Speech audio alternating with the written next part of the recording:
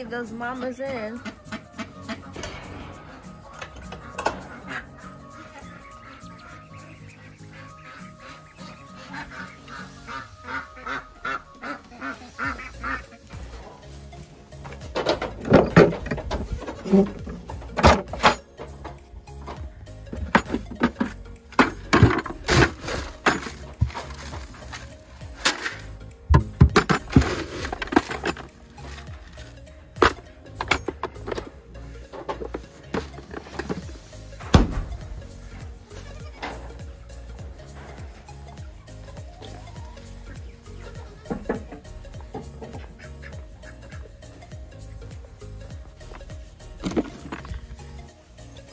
Good morning, love.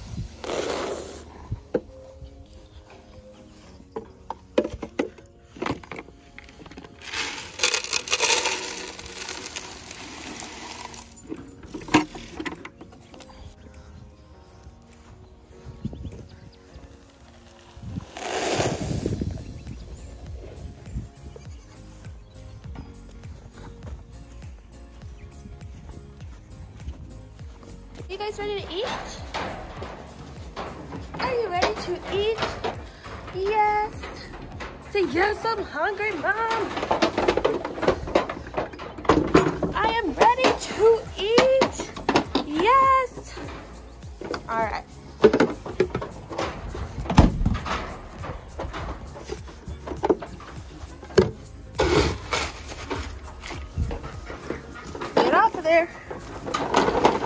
Okay. Mabel told you to get off.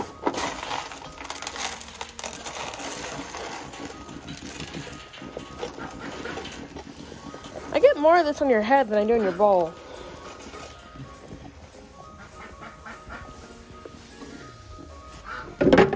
You know, maybe what would be a good idea is if I took up one of the holes and ran like a PVC pipe and made like a opening, like funnel at the top, and then I just had to pour it in there and it would just kind of outburst to the whole thing. That might be a good idea. We might try that and do a little building corner one day and, and fix that. Hank! He likes to go in with the goats and the cows sometimes. Do you like it in there, buddy? He probably just likes to eat the poop, but um, he does like to hang out with him and he typically will go out in the middle of the pasture and he'll just like lay down with him. Nina's gear is on the way as well, so she should have her little ladybug gear. If you follow me on Instagram, you would have seen it in my stories. But she's gonna look so cute because as you can see, Sugar has the sunflowers and the pink mask, but she's not wearing that right now. And Nina's gonna have a red mask and her little sheet is gonna be ladybugs. And she's just gonna look so cute. Aren't you, Nina? Are you gonna look so cute?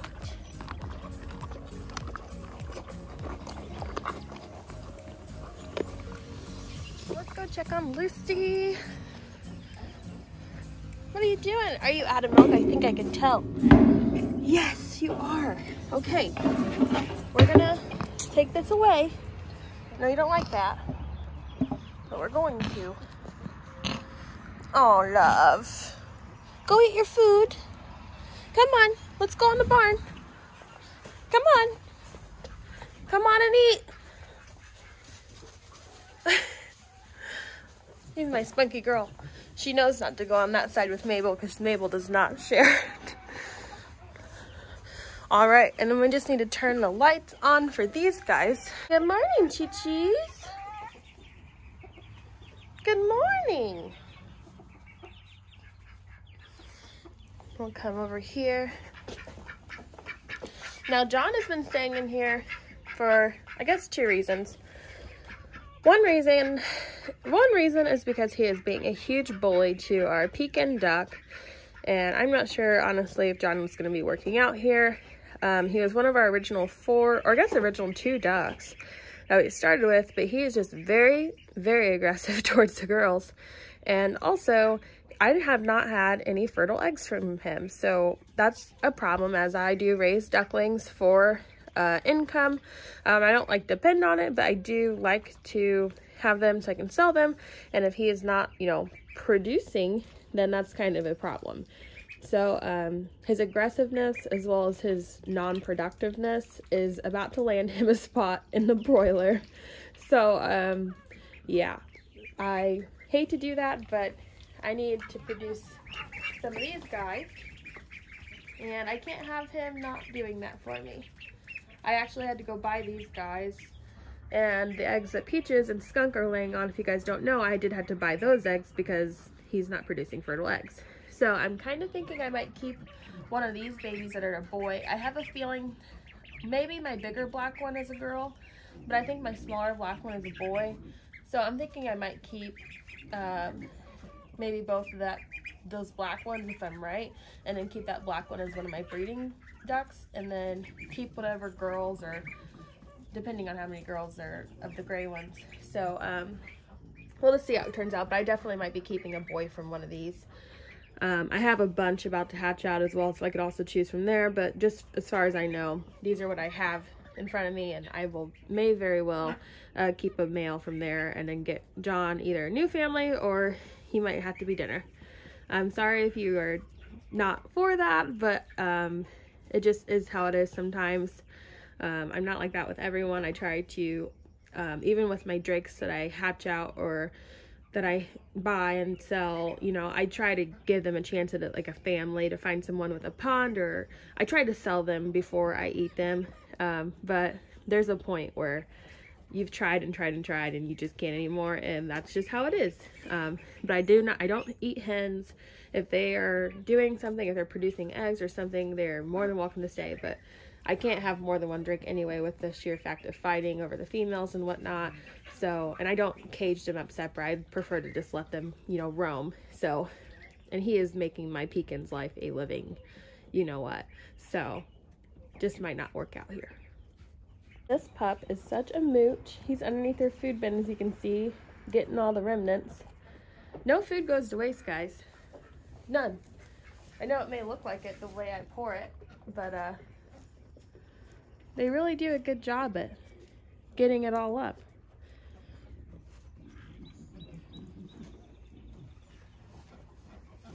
Mabel, you got some babies? I definitely think she has babies, guys.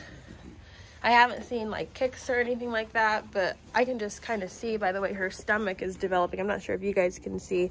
And if I get more of a side view of her, I can kind of see how it drops. But I don't know if you can tell because she's black and it's kind of hard to, but she's definitely developed more in her abdomen since we've had her. Hey guys, I just wanted to pop on here for a minute and actually uh, talk to you guys about Mabel.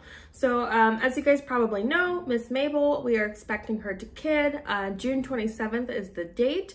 And with that coming means that we will have a milk goat. So um, we're gonna have probably a couple weeks where I'm just not going to do any milking but then we're gonna go ahead and transition into that and we're gonna be doing, you know, uh, the kids stay with her during the day and then at night I separate Mabel and then directly in the morning I get up milk and then uh, put her back with him and she'll uh, feed her kids. So with that said, we have to get Mabel used to the milk stand. So I have had a lot of people show a lot of interest in the goat milking and whatnot. So I'm going to um, kind of show you guys in a video um, you know, how you get your goat used to the milking stand, um, and things that I do with Mabel, um, you know, to get her ready for that before I even have the stand.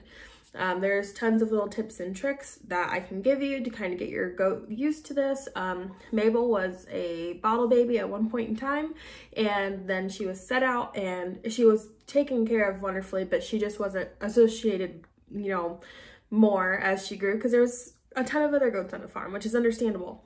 And then after they sold her to me, I'm like super in my animals' faces, like, hi. And uh, she was very nervous at first, and she is coming around, and she is, she is, she's being so sweet. Like, she's come like leaps and bounds. So um, I'm just going to let you guys know, for those of you that have showed interest in milking, um, that I will be doing a um, video on how to get ready for milking.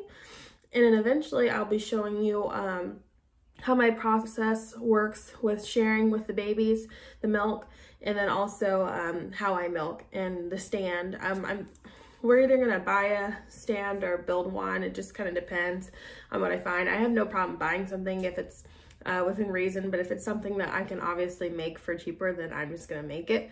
But we'll just cross that bridge when it comes. but um, yeah, so I just wanna let you guys know on this video that we will be doing a, a video on that. So I'll probably come out with a video here soon and kind of show you like what I do to Mabel. I've actually been doing the same things to Mabel as I have been doing to Lucy.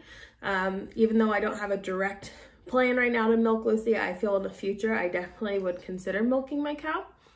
So um, it's just good practice to get them ready in certain ways so that it makes your job easier when they are, you know, um, huge. because I'd much rather start working on Lucy right now when she's a calf than when she is a full-grown cow. I've been doing the same thing to Edith and Fern, my Nigerian dwarf goats. Um, they get, uh, you know, the same rundowns and everything, and now when they get bigger, I won't have to deal with that. Um, and I'm sure if Mabel would have had that, it would have been the same with her, but she just hasn't, and that's fine. I will do that. But I just want to bring you guys along, show you how to do that for if you guys have goats or you're thinking about getting goats um, you kind of know how to get them ready because you definitely don't just get a milk stand one day, put your goat in it for the first time, milk your goat, and they stand there perfectly. Like, I'm sorry, but unless if you got a experienced milk goat, that's not gonna happen. So let me show you how to make your life easier, how to not get the milk tipped over, and yeah, so um, just wanted to hop on here and say that. I hope you guys enjoyed this video though. Um, Thank you so much for watching. I hope you guys had a great week. Yesterday I was sick and I tried to film, but I gave up because I was not feeling great.